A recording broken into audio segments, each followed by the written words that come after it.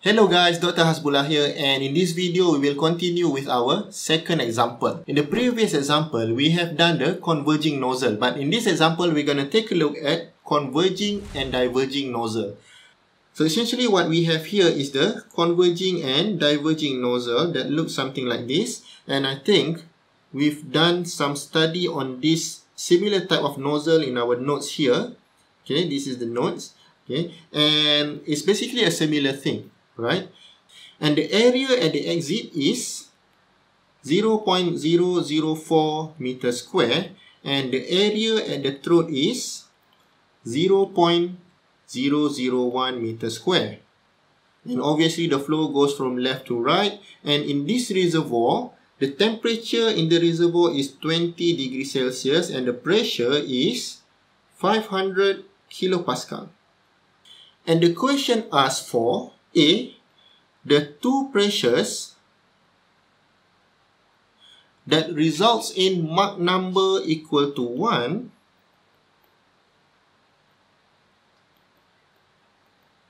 at the throat. And the second question is to find the temperature and velocity at exit.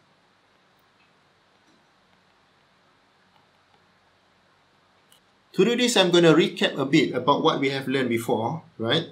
And if you see here, this is our nodes and our converging and diverging nozzles. Okay, and we know that at the throat, okay, there is two conditions where the Mach number can be 1. The first condition is by following this line. Let me use orange, okay.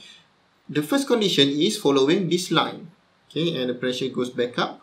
Okay and the second condition let me use red this time is using this line and it goes down.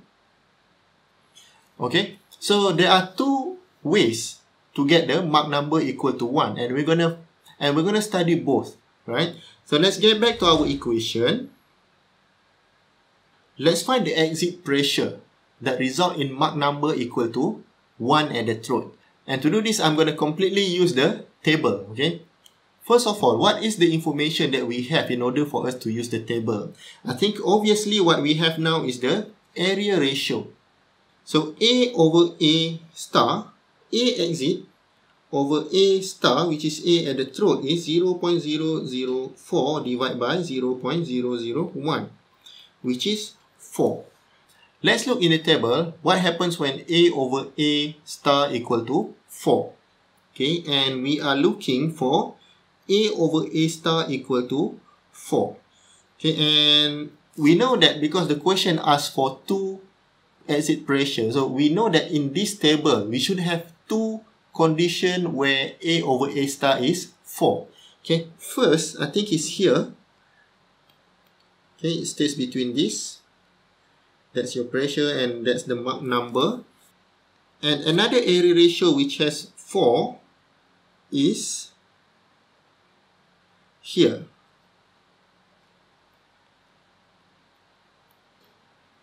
If you look at the Mach number here, okay, at point 2, this is called point 2, okay, and this is called point 1, okay, you can tell that point 1 is actually represented by this line.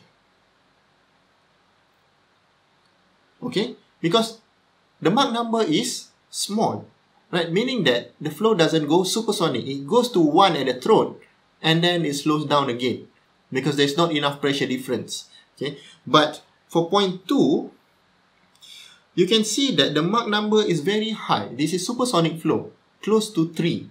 And what happens here is this line. Okay, this line.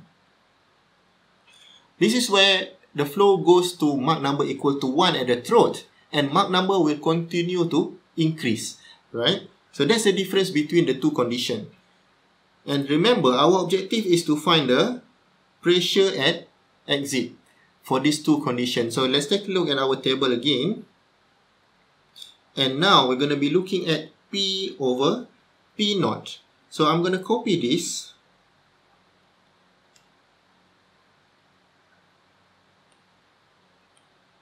and I'm going to put it here this is point 1 and I will also copy another point which is point 2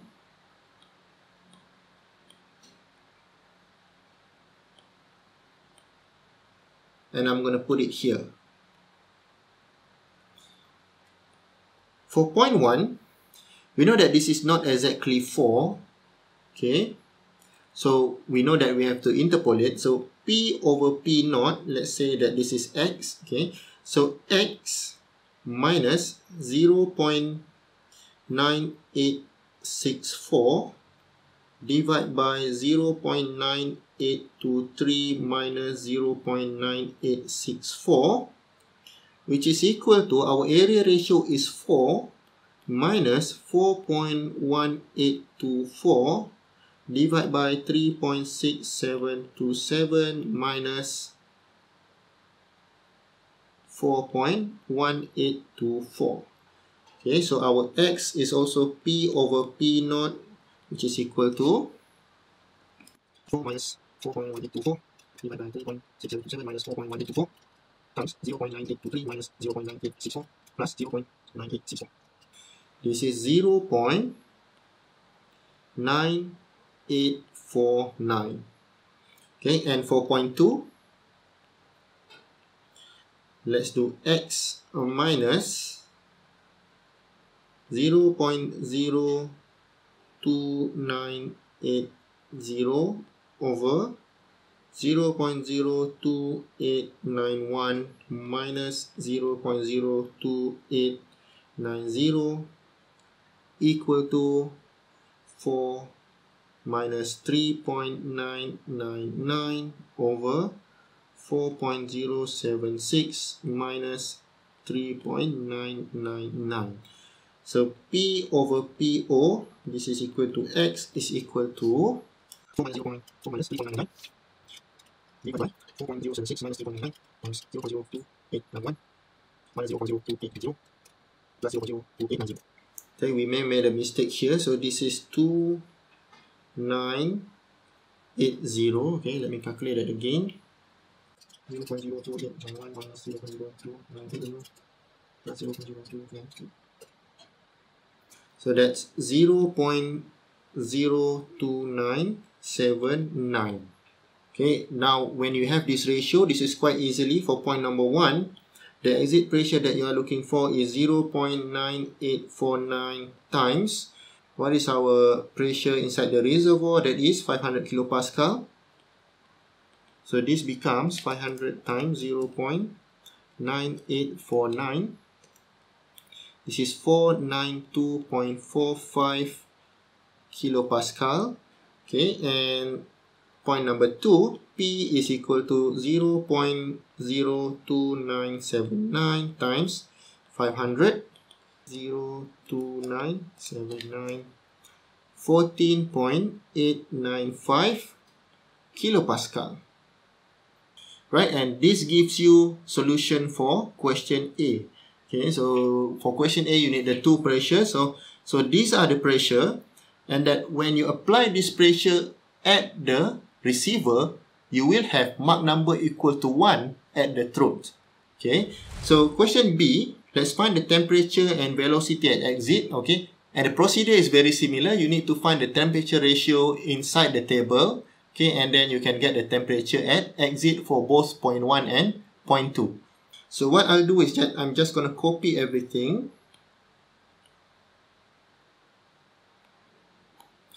And put it down here to find the temperature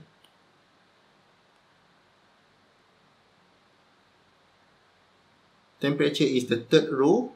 Okay so for point 1 that is let's do x equal to t over t naught. Okay, so x minus 0.9961 over 0.9949 minus 0.9961 equal to, remember our area ratio is still 4 minus 4.1824 over 3.6727 minus 4.1824 and you will end up with t over t naught this is equal to x which is equal to 0.9957. Okay, so basically the temperature at exit is 0.9957 times what is our T naught? T naught is 20 degrees Celsius. So this is 20 degree plus 273. This is equal to 0.9957 times 20 plus 273. This is 291.74 Kelvin. For point 2, still x equal to t over t naught. So x minus point 2, this is it, minus 0 0.3665 over 0 0.3633 minus 0 0.3665 equal to 4 minus 4.1824 over 3.6727 minus 4.1824. And you will end up with t over t naught for point 2 equal to 0.3665. So what you have is t at exit equal to 0.3665 times 20 plus 273 and this is equal to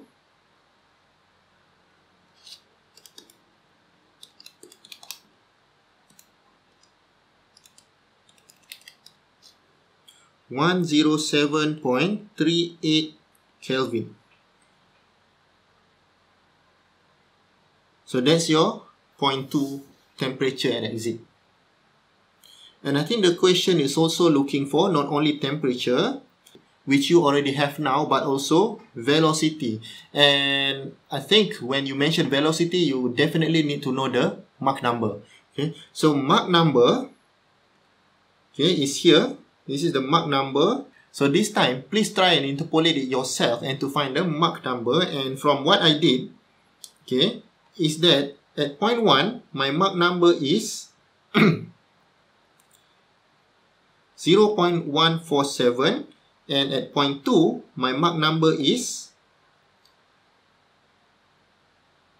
2.94 make sure you manage to find this value by interpolating the table yourself okay and how do we find velocity? Right right now you should already be familiar that velocity is equal to Mach number times speed of sound. And for point 1 let's do point 1 okay? So velocity is Mach number is 0.147 and C is actually square root of KRT, right? So K is 1.4, R is 287 and temperature at 1 is here, 291.74. 291.74. And you will end up with 291.74 times 287 times 1.4 times 0.147 50.3 meter per second, right? And at point 2, we're going to use V equal to Mach number is 2.94 square root of 1.4 times 287 times what is my temperature at point 2 is 107.38. And for this, you will end up with velocity equal to 611 meter per second.